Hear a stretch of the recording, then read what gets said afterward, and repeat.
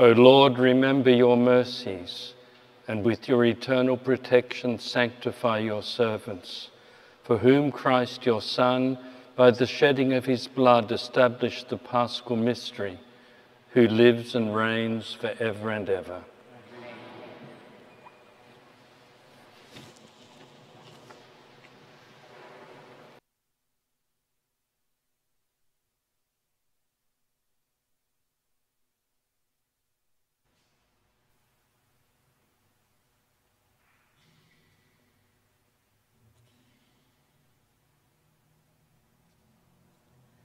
A reading from the prophet Isaiah. See, my servant will prosper. He shall be lifted up, exalted, rise to great heights. As the crowds were appalled on seeing him, so disfigured did he look that he seemed no longer human, so will the crowds be astonished at him, and kings stand speechless before him. For they shall see something never told, and witness something never heard before. Who could believe what we have heard, and to whom has the power of the Lord been revealed? Like a sapling, he grew up in front of us, like a root in arid ground.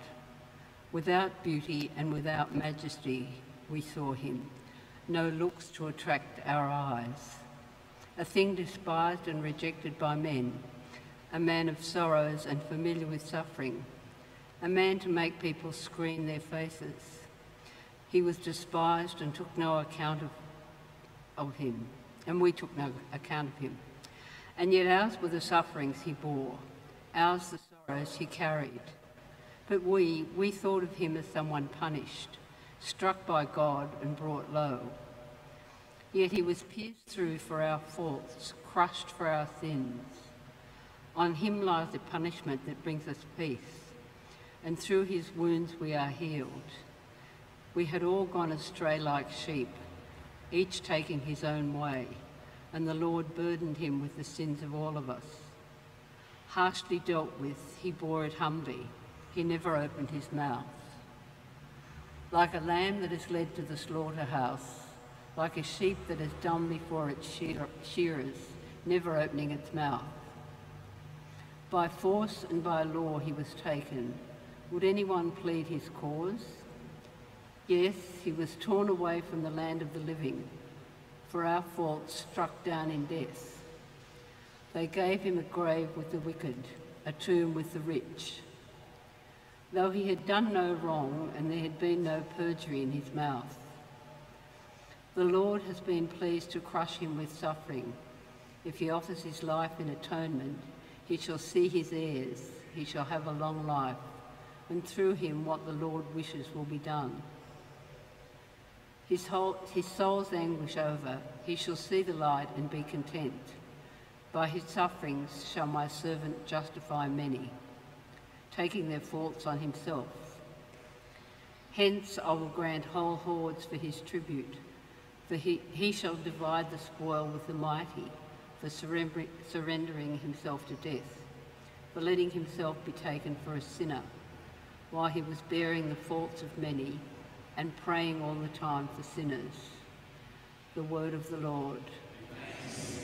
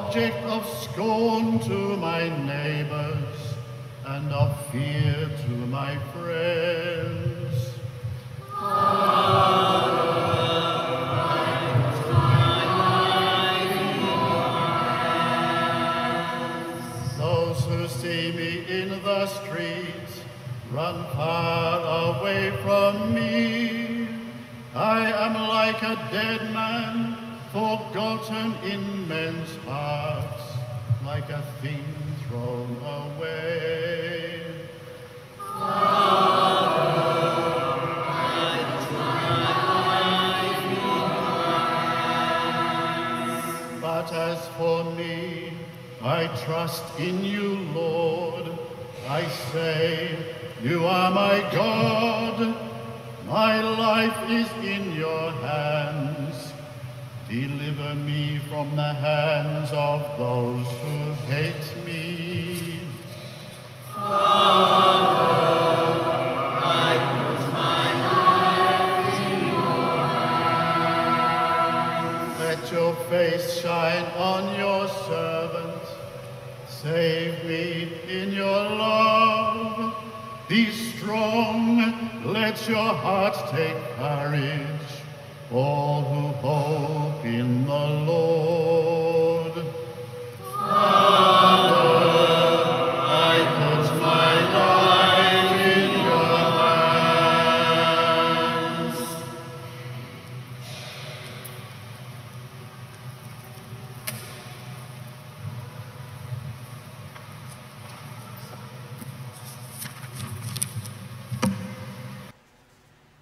Reading from the letter to the Hebrews. Since in Jesus, the Son of God, we have the supreme high priest who has gone through to the highest heaven, we must never let go of the faith that we have professed. For it is not as if we had a high priest who is incapable of feeling our weaknesses with us, but we have one who is tempted in every way that we are, though he is without sin.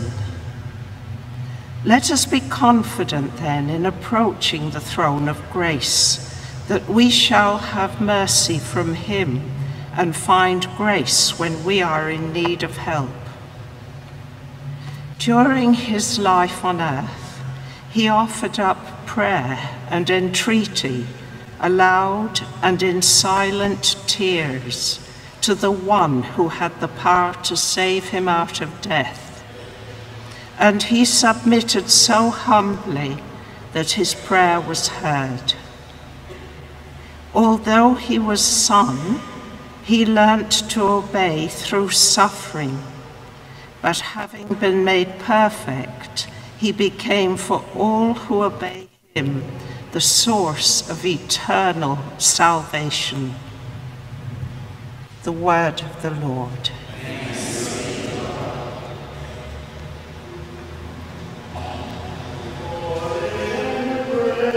To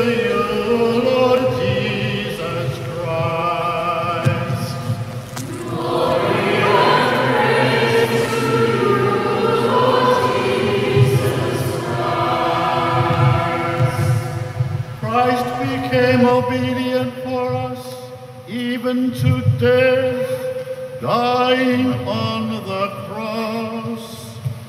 Therefore God raised him on high and gave him a name above all other names. Glory and praise to you, Lord Jesus Christ. for the elderly and the infirmed during the reading of the Passion and for the general intercessions. If you would like to sit, please feel free. The Passion of our Lord Jesus Christ according to John. Jesus left with his disciples and crossed the Kedron Valley. There was a garden there, and he went into it with his disciples. Judas, the traitor, knew the place well, since Jesus had often met his disciples there. And he brought the cohort to this place, together with a detachment of guards, sent by the chief priests and the Pharisees, all with lanterns and torches and weapons. Knowing everything that was going to happen to him, Jesus then came forward and said, They answered, Jesus the Nazarene. He said, I am he. Now Judas the traitor was standing among them. When Jesus said, I am he, they moved back and fell to the ground. He asked them a second time. Who are you looking for? They said, Jesus the Nazarene. Jesus replied, I have told you that I am he. If I am the one you are looking for, let these others go. This was to fulfill the words he had spoken Not one of those you gave me have I lost. Simon Peter, who carried a sword, drew it and wounded the high priest's servant, cutting off his right ear. The servant's name was Malchus. Jesus said to Peter, Put your sword back in its scabbard. Am I not to drink the cup that the Father has given me? The cohort and its captain and the Jewish guards seized Jesus and bound him. They took him first to Annas, because Annas was the father in law of Caiaphas, who was high priest that year. It was Caiaphas who had suggested to the Jews, It is better for one man to die for the people. Simon Peter, with another disciple, followed Jesus. This disciple, who was known to the high priest, went with Jesus into the high priest's palace. But Peter stayed outside the door. So the other disciple, the one known to the high priest, went out, spoke to the woman who was keeping the door, and brought Peter in. The maid on duty at the door said to Peter, Aren't you one of that man's disciples? He answered, I am not. Now it was cold, and the servants and guards had lit a charcoal fire and were standing there warming themselves. So Peter stood there too, warming himself with the others. The high priest questioned Jesus about his disciples and his teaching. Jesus answered, I have spoken openly for all the world to hear. I've always taught in the synagogue and in the temple where all the Jews meet. I have said nothing in secret, but why ask me? Ask my hearers what I taught. They know what I said. At these words, one of the guards standing by gave Jesus a slap in the face, saying, Is that the way to answer the high priest? Jesus replied, If there is something wrong in what I said, point it out. But if there is no offense in it, why do you strike me? Then Annas sent him, still bound, to Caiaphas the high priest. As Simon Peter stood there warming himself, someone said to him, Aren't you another of his disciples? He denied it, saying, I am not. One of the high priest's servants, a relation of the man whose ear Peter had cut off, said, Didn't I see you in the garden with him? Again, Peter denied it, and at once the cock crew. They then led Jesus from the house of Caiaphas to the praetorium. It was now morning. They did not go into the praetorium themselves, or they would be defiled and unable to eat the Passover. So Pilate came outside to them and said, What charge do you bring against this man? They replied, He were not a criminal. We should not be handing him over to you. Pilate said, Take him yourselves and try him by your own law. The Jews answered, We are not allowed to put a man to death. This was to fulfill the words Jesus had spoken, indicating the way he was going to die. So Pilate went back into the praetorium and called Jesus to him and asked, Are you the king of the Jews? Jesus replied, Do you ask this of your own accord, or have others spoken to you about me? Pilate answered, I am a Jew. It is your own people and the chief priests who have handed you over to me. What have you done? Jesus replied, Mine is not a kingdom of this world. If my kingdom were of this world, my men would have fought to prevent me being surrendered to the Jews. But my kingdom is not of this kind. Pilate said, So you are a king then? Jesus answered, It is you who say it. Yes, I am a king. I was born for this. I came into the world for this, to bear witness to the truth. And all who are on the side of, of truth Pilate said, Truth, What is that? and with that he went out again to the Jews and said, I find no case against him, but according to a custom of yours, I should release one of the prisoners at the Passover. Would you like me then to release the king of the Jews? At this they shouted, Not this man, but Barabbas. Barabbas was a brigand. Pilate then had Jesus taken away and scourged, and after this the soldiers twisted some thorns into a crown and put it on his head, and dressed him in a purple cloak. They kept coming up to him and saying, King of the Jews. and they slapped him in the face. Pilate came outside again and said to them, Look, I'm going to bring him out to you to let you see that I find no case. Jesus then came out wearing the crown of thorns and the purple robe. Pilate said, Here is the man. When they saw him, the chief priests and the guards shouted, Crucify him, crucify him. Pilate said, Take him yourselves and crucify him. I can find no case against him. The Jews replied, We have a law, and according to the law, he ought to die, because he is claimed to be the Son of God. When Pilate heard them say this, his fears increased. Re entering the praetorium, he said to Jesus, Where do you come from?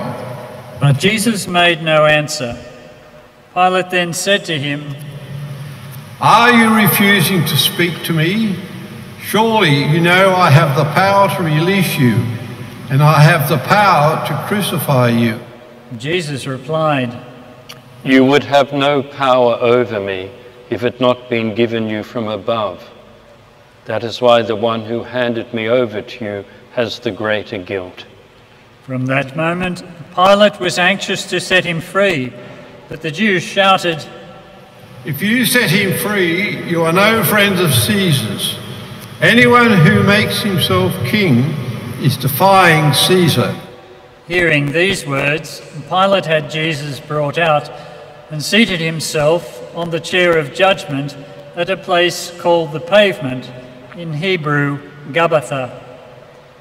It was Passover preparation day, about the sixth hour.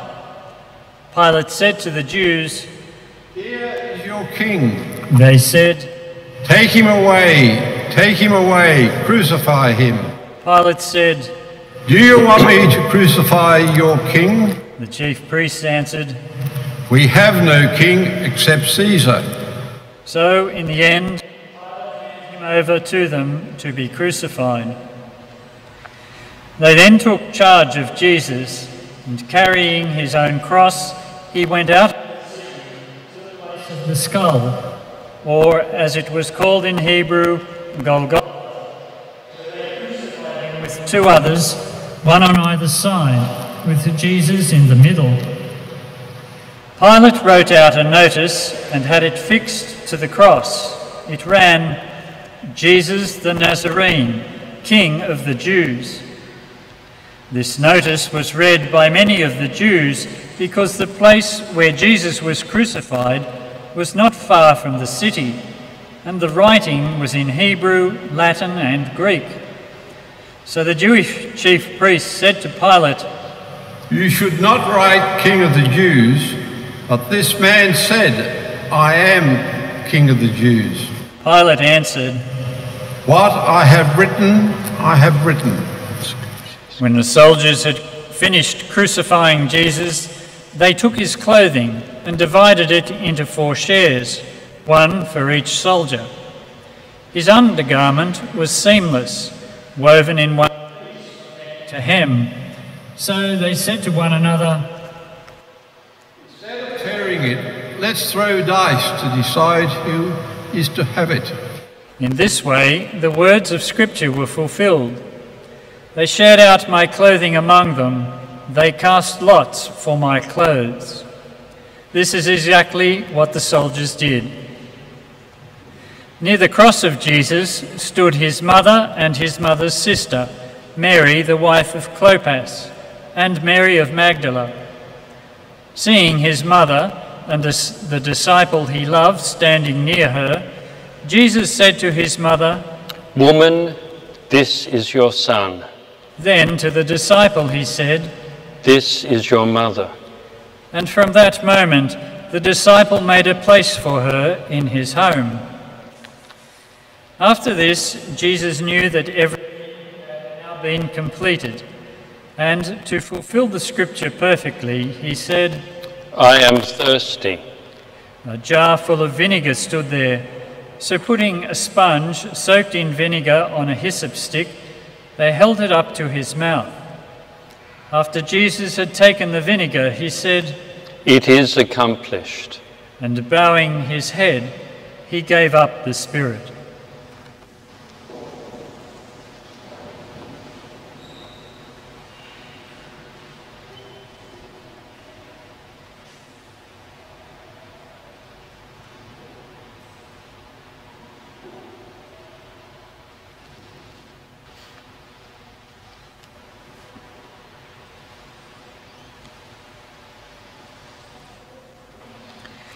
It was preparation day, and to prevent the bodies remaining on the cross during the Sabbath, since that Sabbath was a day of special solemnity, the Jews asked Pilate to have the bodies taken away.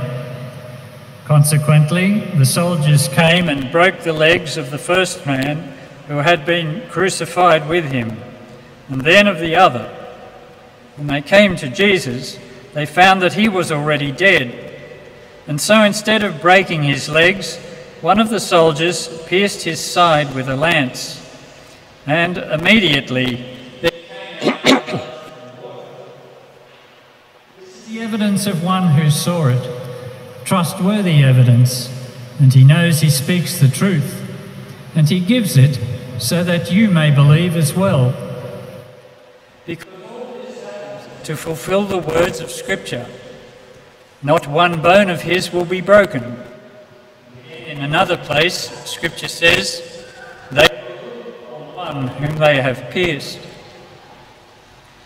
After this, Joseph, who was a disciple of Jesus, though a secret one because he was afraid of the Jews, moved the body of Jesus Pilate gave permission, so they came and took it away. Nicodemus came as one to Jesus at night, and he brought a mixture of myrrh and aloes weighing about a hundred pounds. They took the body of Jesus and wrapped it with the spices in linen cloths, following the Jewish burial custom. At the place where he had been crucified, there was a garden, and in the garden, a new tomb in which no one had yet been buried. Since it was a Jewish day of preparation and the tomb was near at hand, they laid Jesus there. The Gospel of the Lord. Praise to you, Lord Jesus Christ.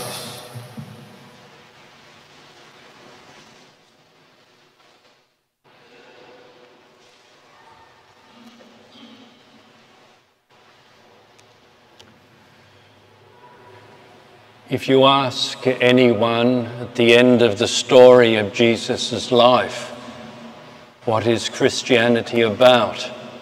The chances are they'll say to you it's about forgiveness and it's about love. And yet, strangely, as we ponder what's just happened, forgiveness and love are not at the forefront. Because at the forefront is not the teaching of Christ, but the man himself, Jesus.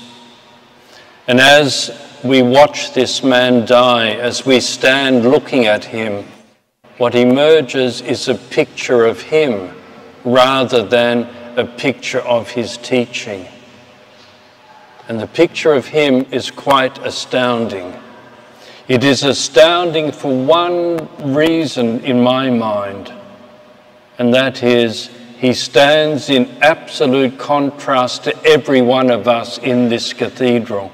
Well, I can say he stands in contrast to me at the very least, because he is the opposite of what I am.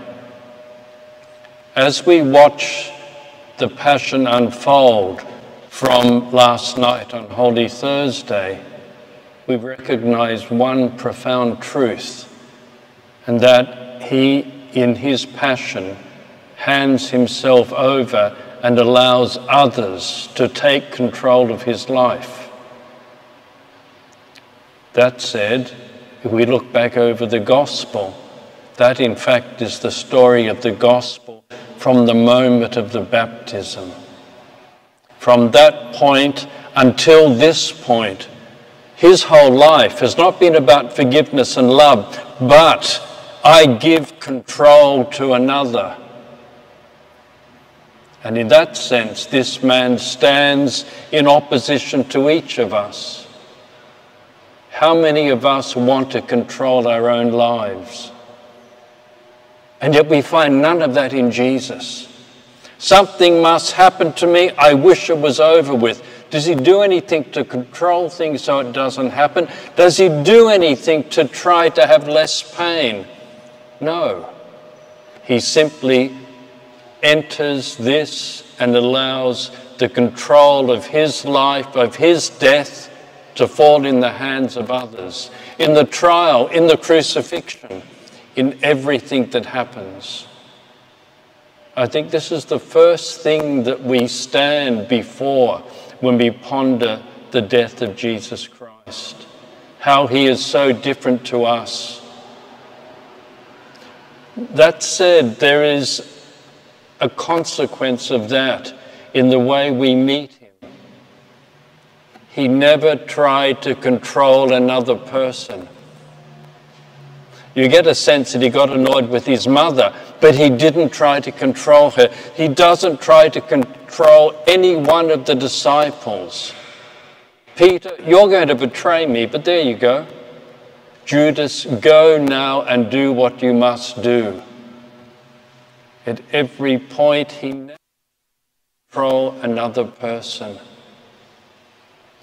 Turn your eyes now to yourselves.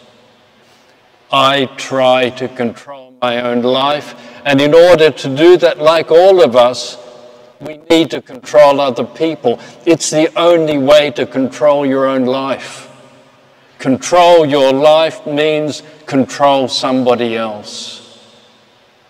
And Jesus doesn't do that. And the challenge that the death presents is, well, we're called to follow Jesus to be like him. Do you want to control your own life? Yes. How do you do it? Without knowing it, you control others. Husbands and wives do this, children do that, everyone does it. And in that sense, on this day, I can say to all of us including to myself, I don't stand up very well to Jesus Christ. But it's hard to hand over control. Then the answer is do not try to control. Because what's the consequence of not controlling? You hand your life into the, into the hands of God. Only when my life is in the hands of God will it unfold well, regardless of where it goes. The truth is, I actually have no control of my life. I'd be a fool to say that I did. Then I want my life to be controlled by God. None of you can control your own lives. You can't set the date of your death. You can't set anything. Then let go of trying to control. Follow Jesus. And let Him, let the Lord, let God our Father control us.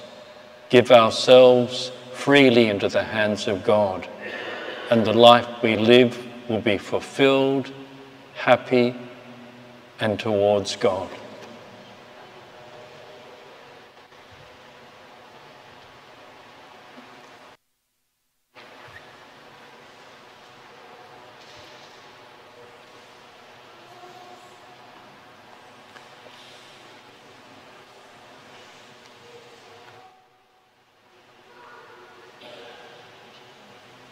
I'll do it here. Thank you.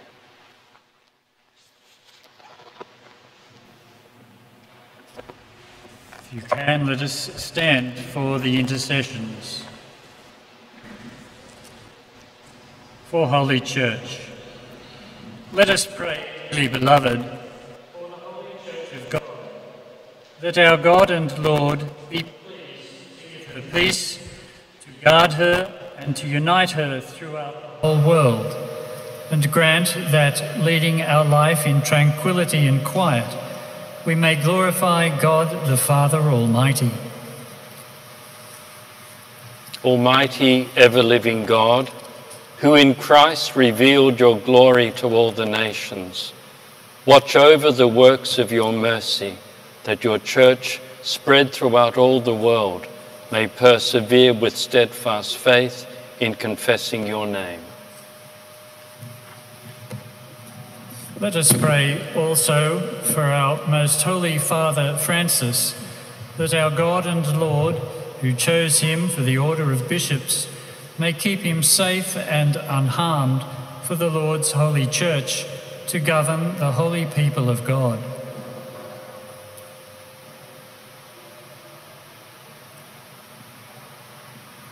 Almighty, ever living God, by whose decree all things are founded, look with favour on our prayers, and in your kindness protect the Pope chosen for us, that under him the Christian people, governed by their Maker, may grow in merit by reason of their faith, through Christ our Lord.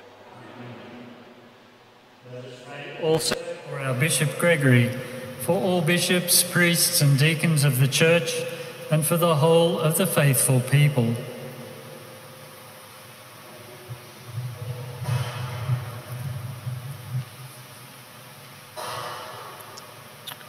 Almighty, ever living God, whose Spirit the whole body of the church is sanctified and governed, hear our prayer for your ministers, that by the gift of your grace all may serve you faithfully through Christ our Lord.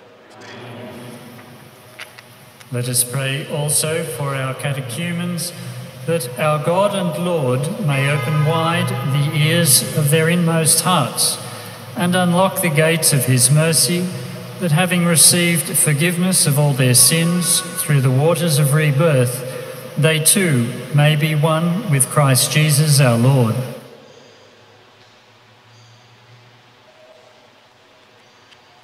Almighty, ever living God, who make your church ever fruitful with new offspring, the faithful and understanding of our catechumens, that reborn in the font of baptism, they may be added to the number of your adopted children through Christ our Lord. Let us pray also for all our brothers and sisters who believe in Christ, that our God and Lord may be pleased as they live the truth, to gather them together and keep them in his one church.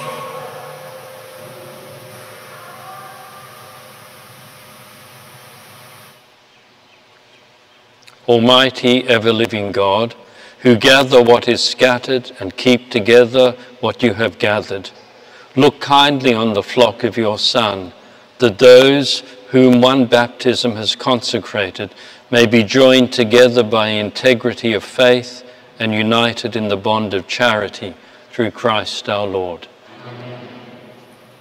Let us pray also for the Jewish people, to whom the Lord our God spoke first, that he may grant them to advance in love of his name and in faithfulness to his covenant.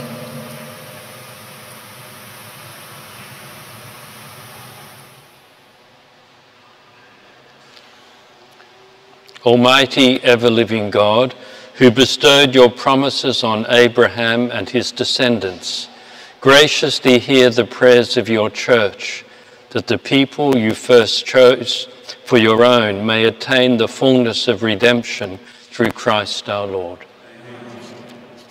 Let us pray also for those who do not believe in Christ, that enlightened by the Holy Spirit, they too may enter on the way of salvation.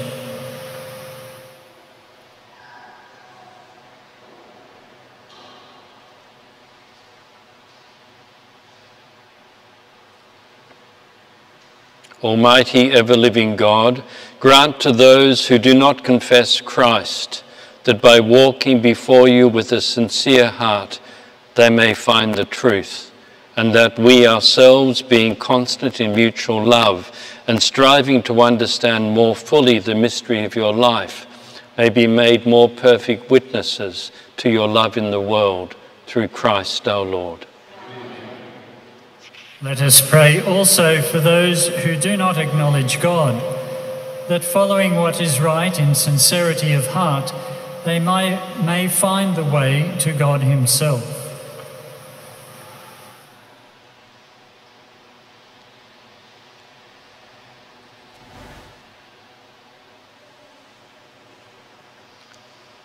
Almighty, ever living God, who created all people to seek you always by desiring you and by finding you come to rest.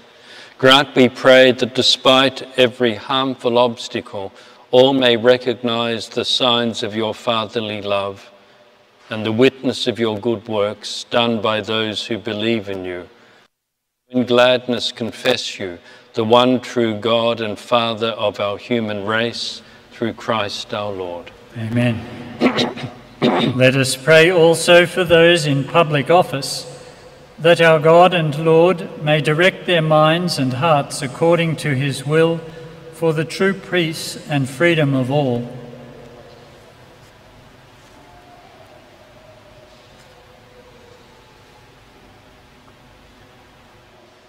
Almighty, ever living God, in whose hand lies every human heart and the rights of peoples. Look with favour, we pray, on those who govern with authority over us and throughout the whole world. The prosperity of peoples, the assurance of peace, and the freedom of religion may through your gift be made secure. Through Christ our Lord. Amen. Let us pray, dearly beloved, to God the Father Almighty, that he may cleanse the world of all errors, banish disease, drive out hunger, unlock prisons, loosen fetters, granting to travellers safety, to pilgrims return, health to the sick, and salvation to the dying.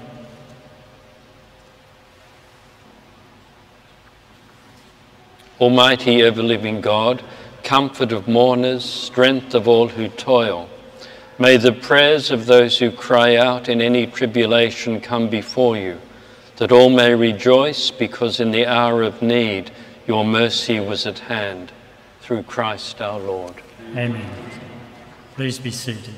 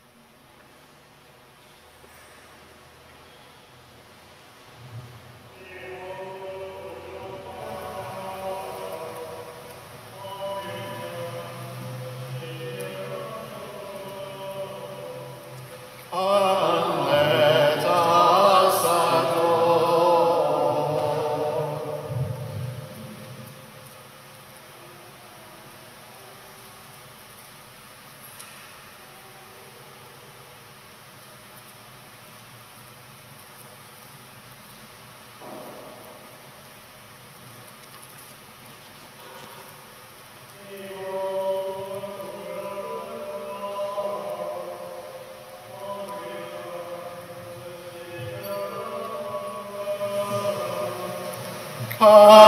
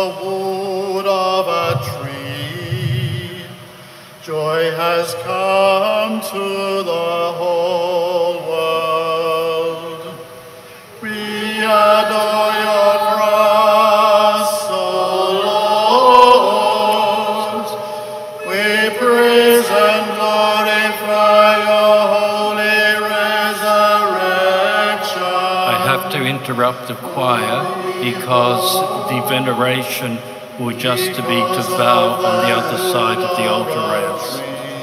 Did you hear that?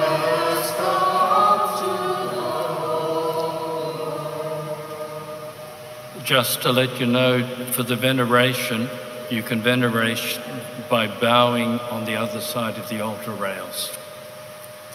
You can continue. May God have mercy on us and bless us. May he let his face shed its light upon us and have mercy on us.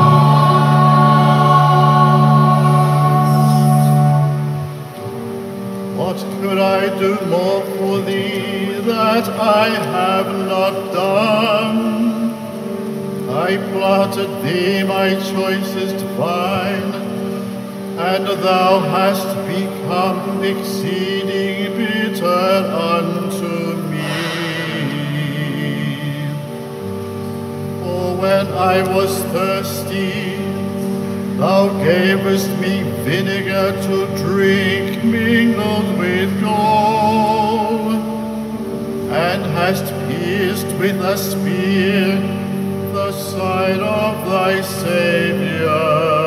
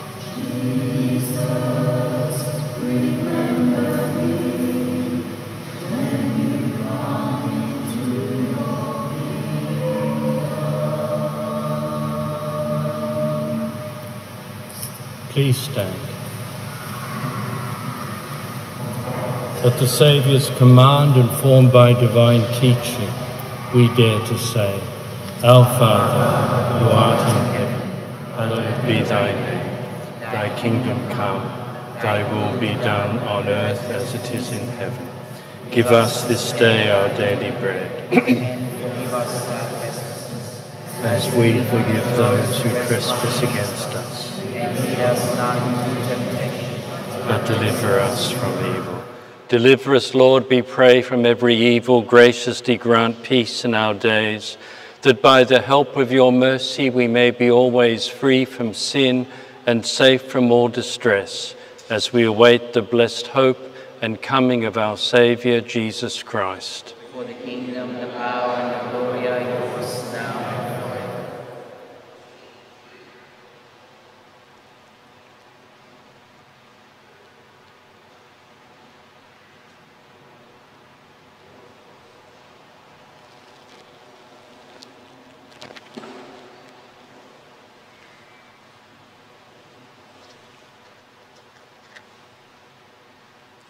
Behold the Lamb of God, behold him who takes away the sins of the world. Blessed are those called to the supper of the Lamb. Lord, I am not worthy that you should enter under my roof. Say the word, and my soul shall be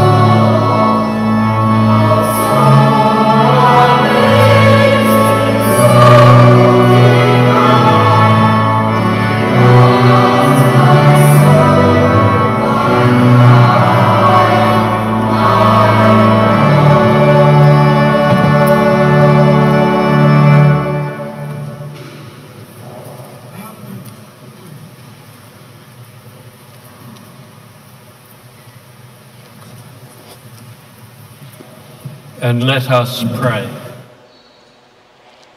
Almighty, ever living God, who have restored us to life by the blessed death and resurrection of your Christ, preserve in us the work of your mercy, that by partaking of this mystery we may have a life unceasingly devoted to you through Christ our Lord. Bow down for the blessing. O Lord, may abundant blessing descend upon your people who have honored the death of your Son in the hope of their resurrection. May pardon come, comfort be given, holy faith increase, and everlasting redemption be secure through Christ our Lord. Amen.